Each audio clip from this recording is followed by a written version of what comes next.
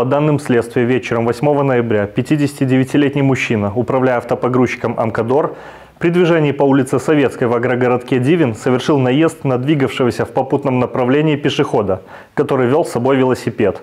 От полученных травм 64-летний мужчина скончался на месте. Следователям с привлечением специалистов Управления Государственного комитета судебных экспертиз по Брестской области проведен осмотр места происшествия, зафиксирована следовая картина, назначены судебно-медицинская и автотехническая экспертизы. В отношении водителя возбуждено уголовное дело по части 2 статьи 317 Уголовного кодекса «Нарушение правил дорожного движения, повлекшее по неосторожности смерть человека».